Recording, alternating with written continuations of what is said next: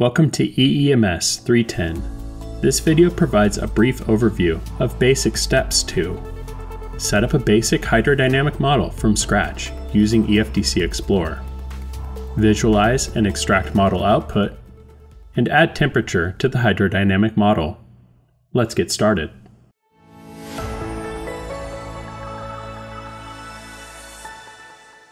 Several data files are necessary for building the model. These include bathymetry data, flow and water level data, meteorological data, parameter data such as temperature, and some other kinds of data as well.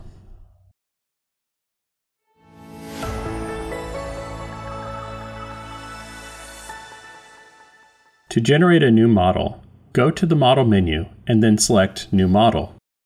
In the Grid Generation window, select the Import Grid from File radio button and browse to the grid file named laket.cvl. Enter 17 for the UTM zone box to set the geographical zone for the model, and then click OK. After generating the model grid, the user should save the model by clicking on the Save Active Model button from the toolbar, or selecting Save Model under the Model menu. The Select Directory Write Options form will allow the user to select the right options and model format, as well as the location to save. For a newly generated model, the full write option is recommended.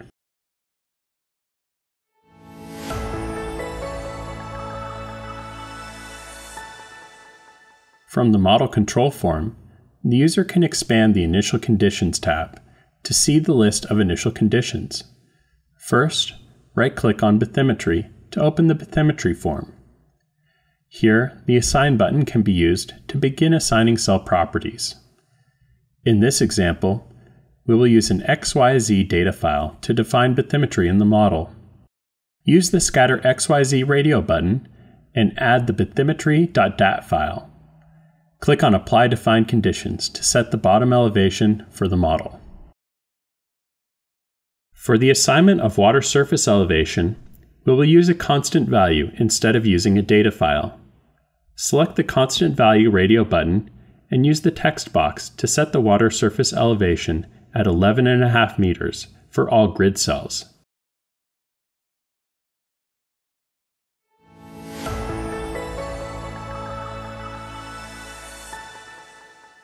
In this step, we will import inflow and outflow data to the model and assign it to the upstream and downstream cells.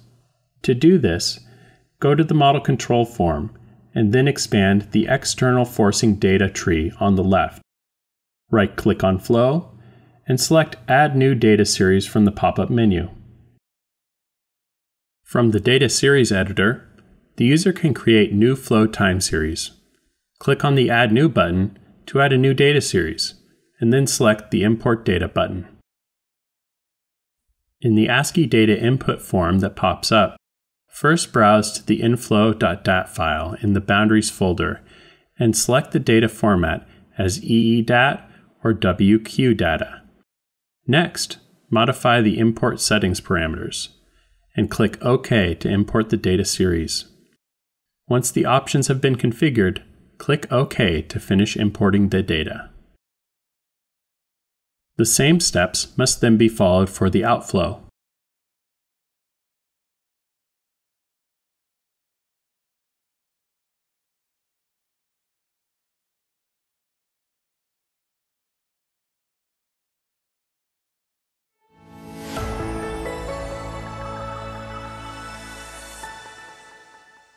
Set up boundary conditions, first the user needs to define boundary cells and associate the external forcing time series for each boundary. Open the 2DH view. Turn on the boundaries layer in the layer control. To add inflow boundary, right-click on the cell and select Add New Boundary Group from the menu. The Add Boundary Condition Group form will appear. The user should put a name for the boundary, such as inflow, and select Flow for the boundary group type. Click OK to create the inflow boundary and bring up the Flow Boundary Condition Editor.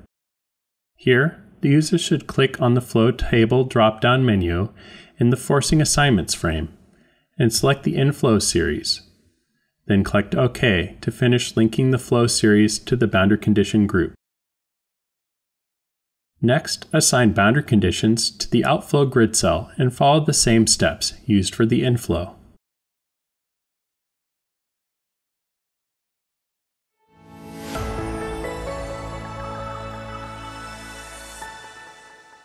Hydrodynamic settings are set to optimize the simulation time and model stability.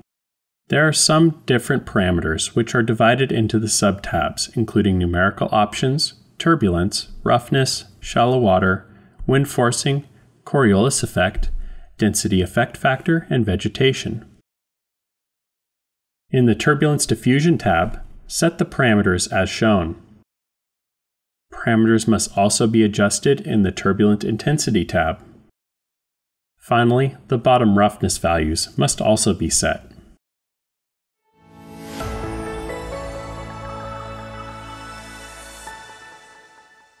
Model timing, under the timing and linkage tree of the model control form, consists of four tabs. First, timing allows the user to set the simulation time of the model. Next, linkages allow the user to set the frequency and output parameters. Third, restart options allows the user to set the restart and continuous run mode options. And four, the ramp up options allow the user to modify the timing of full transitional physics. In the main frame of the timing options, the user must specify reference date, the time to start and end the run, along with the time stepping options and duration of the period. The dynamic time step options subframe allows the users to engage auto stepping by setting the safety factor to a positive value between 0 and 1. If set to 0, it will result in a fixed time step. It should be noted that EFDC Plus will use multiples of the time step when dynamic time stepping is on. Right click on the Linkages subtab to set the output frequency.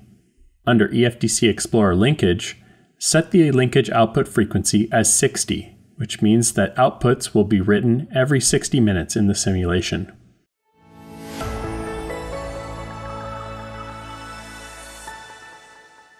Before running the model, the input files should be saved using the full write option. To prepare a simulation to be run, use the Run EFDC button from the toolbar. In the Run Options form, specify the number of threads to be used in the simulation, and the version of EFDC Plus to be used.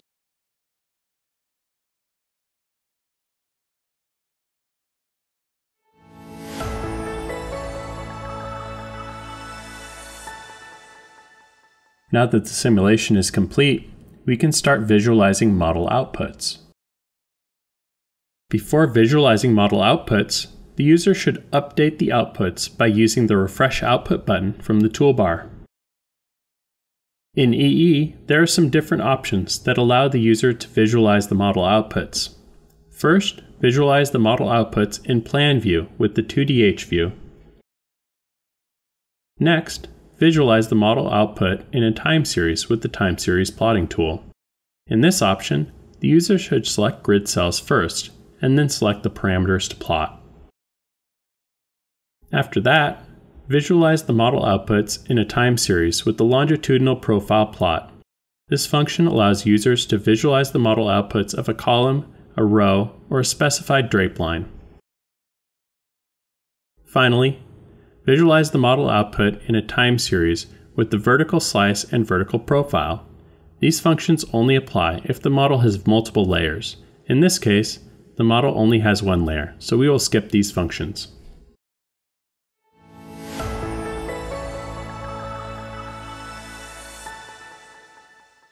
In this section, we will look at building a temperature model on top of the hydrodynamic model we just developed. To activate the temperature module, right-click on the module's header in the model control form and select the temperature module.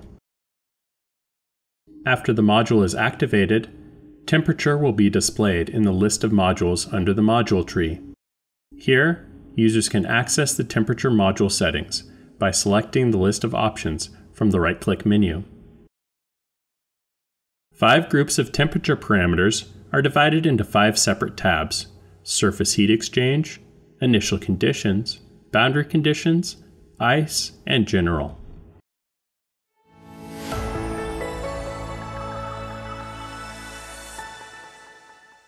For the temperature model, water temperatures must be assigned to each boundary condition.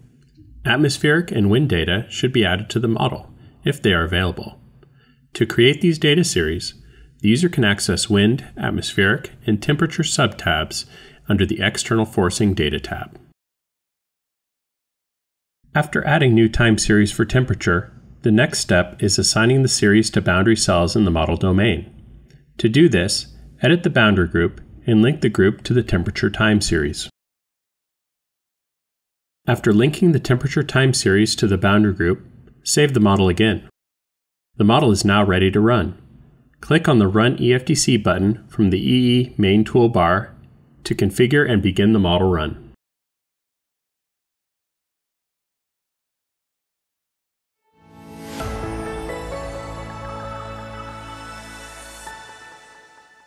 After the run is completed, click the Refresh Model Output button to update the model output. We can take a look at how addition of temperature to the model has changed the results using the 2DH view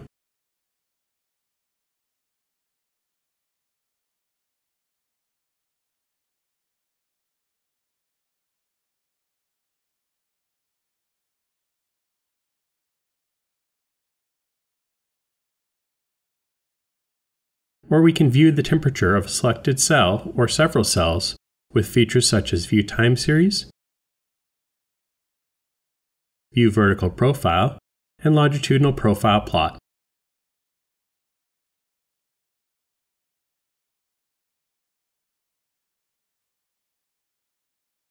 Thank you for watching. You can view the next EEMS training video by following the link below.